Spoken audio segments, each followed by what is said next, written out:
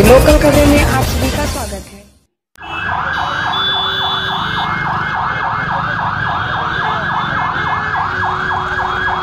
भाई sir S road पे लगी आग एम मुंबई टायर के अंदर भीषण आग।